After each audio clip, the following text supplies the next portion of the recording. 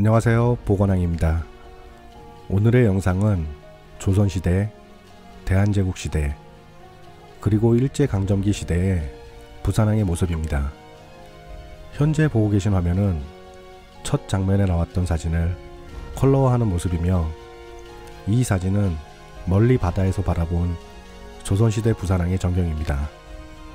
지금으로부터 120년 전에 촬영된 아주 오래된 흑백 사진입니다.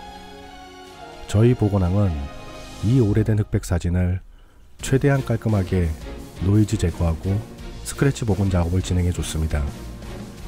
그 후 깨끗해진 흑백 사진에 보시는 영상과 같이 컬러화 작업을 진행하였습니다.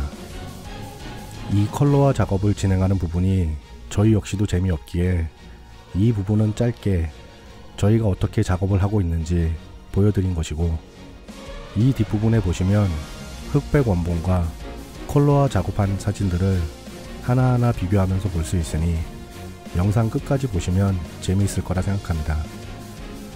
다음 영상에서는 이 부산항의 완결편인 조선시대부터 2020년 현재까지의 부산의 모습을 보여드릴 예정입니다. 이 영상도 많은 관심 부탁드리고 좋아요, 구독 많이 부탁드리겠습니다.